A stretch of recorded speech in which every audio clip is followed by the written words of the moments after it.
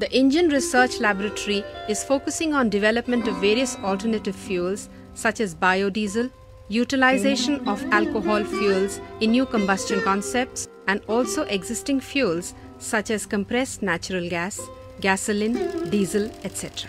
The idea was to explore whether they can be utilized in a better way using new combustion concepts. These are some of the areas where the lab is trying to increase the efficiency, develop new combustion concepts, and utilize the fuel in a much better and more efficient manner.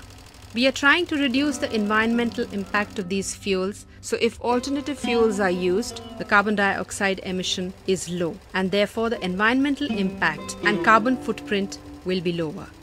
Apart from this, the lab is also trying to develop several exhaust gas after treatment technologies and also develop new combustion concepts such as laser ignition of methane air mixture, laser ignition of hydrogen air mixture, and HCCI, which has very low carbon footprint as well as very low environmental impact.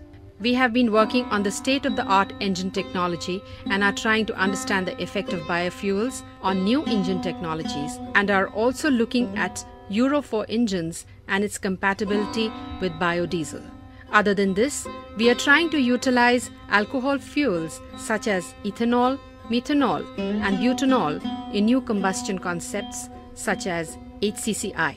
ERL is also developing diesel HCCI as well as gasoline HCCI in our laboratory. In our lab, we are trying to ignite the hydrogen air mixtures using laser, and that is one of the first of its kind of project where we are trying to implement uh, laser ignition technology in hydrogen air mixtures. Hydrogen has several uh, issues when you use conventional engine technology and we are hoping that with use of laser ignition we will be able to eliminate many of those problems which are reported and we hope that we will be successfully able to develop a hydrogen fueled engine which is ignited by laser in next two years. This technology has already been successfully developed at IIT Kanpur and the fuel which has been used for development of this technology is compressed natural gas. So we are very hopeful that this project will be a big success. The lab has done the closed loop control of HCCI engine, which is a major breakthrough as far as the development of HCCI engine is concerned. Several fuels of HCCI combustion have been used like different types of alcohol, diesel fuels, biodiesel HCCI, and gasoline HCCI. The lab has developed an electronic fuel injection locomotive for Indian Railways, which has made India the fourth region in the world to have this technology. This is an indigenous project where the mechanical fuel injection system of a diesel locomotive has been converted to electronic fuel injection system, which gives excellent flexibility for the fuel injection in the engine leading to a 4% fuel saving for the locomotive and 70% reduction in carbon emission from the engine. It is economical and translates to about 400 crores of diesel saving for Indian Railways. The lab has developed a biofuel operated car which runs on 100% biodiesel. We have developed uh, a biofuel operated car which can run on biodiesel 100% and we have done this project for uh, one of the major automotive OEMs of India and this project was completed in 2007 and with this the automotive industry of India which was earlier very skeptical about use of biodiesel in the vehicles became more uh, amenable and they accepted biodiesel as one of the uh, potential fuels. We have designed and manufactured a low-cost biodiesel pilot plant to help semi skilled people to learn to operate the plant with two days of training. This can be put in villages, which will make them self reliant. People can bring in their vegetable oil and take biodiesel for their applications. The cost of the plant is less than 10 lakhs and the payback period is less than 18 months.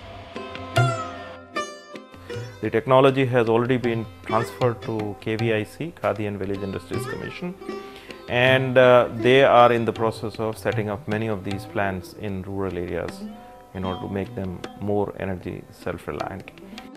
The lab also has the unique facility of looking at exhaust particles in a very refined manner. We look at particles from 5 nanometers to 560 nanometers with high concentration and try to compare the particulate emissions from different fuels, different engine technologies, and different vehicles. The investigations carried out have startling revelations about particulate behavior.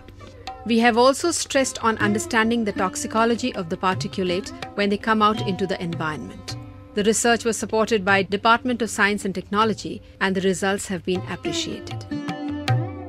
The first 10 years was more about developing state of the art lab and now our lab in next 5 years will be geared more towards fundamental research where we will be employing various laser based and microsensor based technologies to, to the engines in order to understand the combustion much better and also in order to um, uh, reduce the formation of pollutants as well as control of pollutants once they come out of the engine. Engine Research Lab has a very unique facility of single cylinder optical research engine where we can uh, design and do experiments with changing various parameters which are otherwise not possible in a conventional research engine.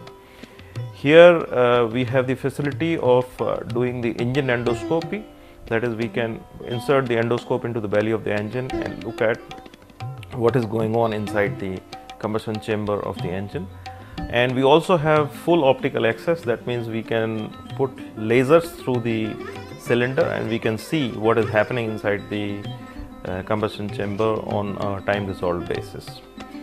So these are very unique facilities and in next 5 years time we are going to employ many of the uh, physics techniques such as particle imaging velocimetry, uh, laser induced incandescence, laser induced fluorescence technique, uh, holographic um, PIV techniques in the engines and uh, we will hopefully be coming out with some new answers.